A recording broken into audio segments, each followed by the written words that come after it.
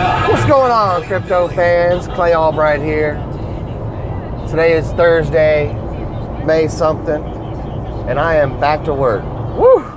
Had a couple days with my ladies, my girls. I have three girls, and uh, young girls. So they, I, when I do have them, I'm to and from school and to and from swim practice and all that good stuff. So, uh, believe it or not, sometimes getting back to work could almost be a little bit of a break. Love my girls. I want to address this particular video to one Mr. Bix Weir. Hi, Bix. Clay Albright here. I know we've never met. Uh, I have heard several of your videos and I've really enjoyed some of your commentary on different things. Lately, I, I have felt at odds a little bit with your opinion towards EOS, and I thought maybe if a few people can throw this video your way, and maybe if uh, you have a few minutes to check it out, then maybe I could shed some light on some of the things that you're talking about related to the EOS uh, platform that's launching in June. So here's here's where the shot. Bix, my friend, I understand where you're coming from about Brock Pierce. Brock Pierce, uh, uh, without talking about him per se, Brock Pierce was involved with Bitcoin real early on in its day. Uh, the Bitcoin Foundation, uh, you mentioned that yourself. But, uh, Brock Pierce was very much so involved with Ethereum and the Ethereum Foundation. And I know you're a huge fan of Ethereum. But let's both agree on one thing. Brock Pierce is not a programmer or a developer or of a any sort. Um, he's he's a businessman slash celebrity. So I, I don't I don't want to confuse his involvement with any of the projects, Bitcoin, Ethereum, Block One, with the technology. The, his involvement was more so from a publicity standpoint, and I, I don't know. I, I did not know a lot about Brock Pierce uh, before some of the videos started circulating online, and I'm sure there's a lot of other people um, that probably did not either. But I, you, you have to admit, when the news did break, uh, EOS quickly separated themselves from something like that. They are trying to be evil.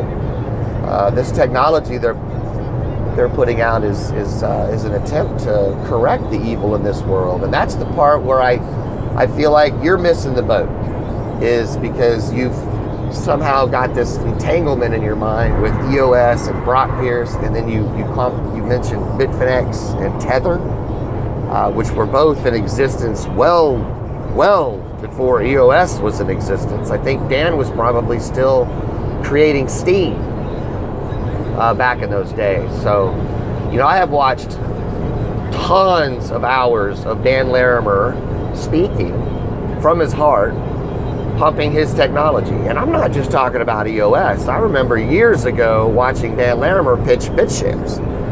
Uh, and you know, BitShares was a little bit ahead of its time, and, and you, you saw this guy who was so incredibly smart. You knew he was, and he had such a great product. But you know, trying to start that thing on a grassroots level and already being a little more difficult than Bitcoin was tough. Um, which led him into Steem, which was the social media platform, so he could maybe gain some some publicity or some uh, some network effect just through using Steem's social media. You know, unfortunately, Steem's distribution didn't end up the right way, and I don't, I can't necessarily blame that on anyone. Um, I know Dan's not real excited about it, and maybe this is his attempt to sort of redo it. Uh, but you've got you know, a lot of brand new uh, concepts coming out in this new technology in June that's going to do a lot for the crypto environment. A lot. Um, and I don't, I'm not going to go into all the details technologically why. I mean, I, I've done that before in videos. I would encourage you to check some of them out if that's something that you're interested in. Um, but regarding the Brock Pierce issue with EOS, please, please separate that. EOS did. Dan Larimer wasn't involved with that. Whatever Brock history, Brock uh, Pierce's history is or was, um, And Bitfinex and Tether are not related to EOS. I mean, I'm sorry that they're not. I mean, they, they may have come to EOS for uh, to use their platform, but they Dan Larimer wasn't a part of Bitfinex or, or uh, Tether's launching or creation.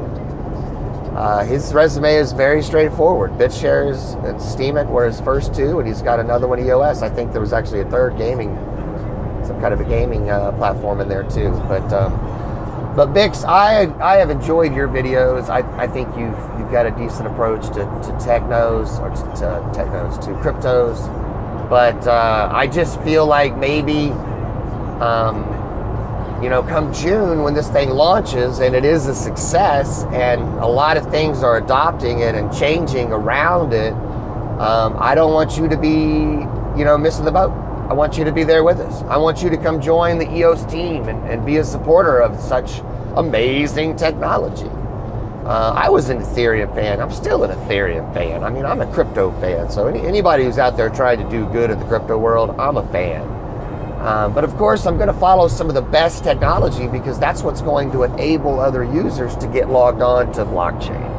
Steemit, by all means, has the most users logged on to blockchain on a daily basis, doing the most transactions on a daily basis. If you want to check out blocktivity.info, it shows you there. Um, and that was Dan Larimer's contribution. So, I mean, the guy has spent a lot of time and effort uh, to try to create systems to protect people's life and liberty and uh, I want to say pursuit of happiness. I know that's not his, his uh, saying. He's got a different saying, but uh, life, liberty, and property. And uh, that's his that's his goal. I mean, how, how, do you squash a guy like that? You know, that's his only goal. Uh, he doesn't need the money the, the over billion dollars, I think it might be over two billion dollars that he's collected now from, uh, you know, the EOS ICO. He was very clear about that. The software is already developed. The software was uh, is not something that the ICO is is funding. The, the money from the ICO was Block One's to do with what they chose, and he did that for liability reasons, so the SEC would stay off of his butt uh, by doing an auction style ICO where he wasn't promising anything for the token. I get it. You can fud that. You can. Because it does sound a little crazy. But not when you think about his reasoning and not when you think about the product is already out. Okay, it's a little too late to be saying he's lying. It's already out. The developers are raving about this product. There's some things that are hard to ignore specifically the fact that many, many millions of those billions of dollars have already been pledged to venture capitalists to put back into the market of the, or to the community of the EOS ecosphere, ecosystem. So there's just so many balls rolling in the right direction right now. I I want I want to persuade you to come join the EOS team I'm not asking you to leave Ethereum or Litecoin or any of your favorites because I've determined you are a loyalist. Uh, you have your picks, and I think that's great. Um, what I'm concerned about is that you have such a huge following with YouTube that maybe others are purposely not buying into EOS because of the things that you're saying. And I'm are you trying to spread FUD? No, this is your opinion. This is based on your knowledge of EOS. So I just wanted to hopefully shed some light on some of that. Um, I would offer myself, you know, my time to you anytime if you want to have a conversation, whether it's over the phone or on video. Um, I would be happy to chit chat with you in a very nonchalant, uh, gentlemanly manner, sir and uh, see if we can straighten some of this out. Reach out to me on any one of my videos, shoot me a comment, we'll figure it out. Um, if I don't hear from you, I understand you're a busy man too. So uh, just wanted to sort of, again, come come join the EOS team, man. Come be part of this amazing technology that's about to change the world. June is going to be a crazy cool month for technos, and I want you to be a part of it. We'll see you, bud.